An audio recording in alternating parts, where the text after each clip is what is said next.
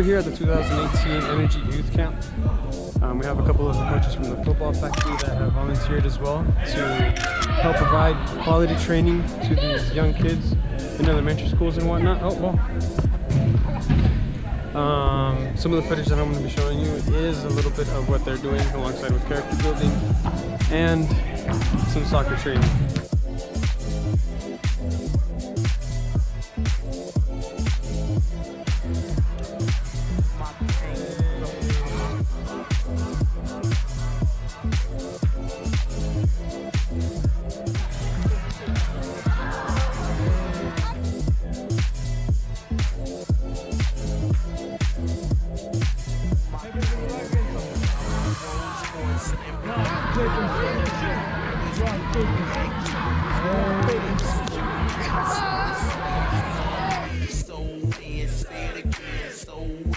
Make that money, throw it in, booty bouncing,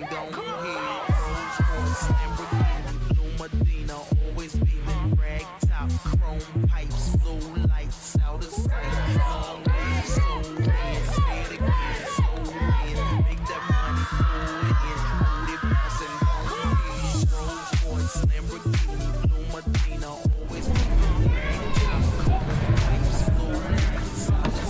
What's up, we got Josh Garcia here. How are you, man? I'm good, man. I'm good. I'm good. What are we doing here? We're doing a shooting drill, so it's kind of directional. So basically, we ask them what side, what foot you want to shoot with, and from there you choose which side you start on to end up on that foot. You know? And then from there they go, and they'll have a hit, and then you hit middle line, either side you want. On that line, we're normally trying to get them to put inside and have a hit, whether you're left footed or right footed.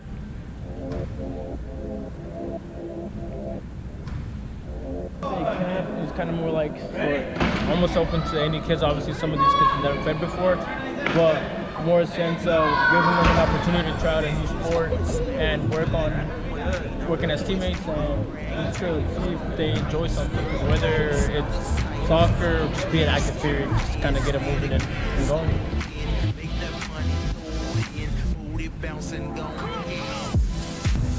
I, I wasn't around when I was here, so and obviously like I was a troublemaker. So hopefully if this can keep kids out of trouble and give them something they like to do, uh, that's something that's great and amazing.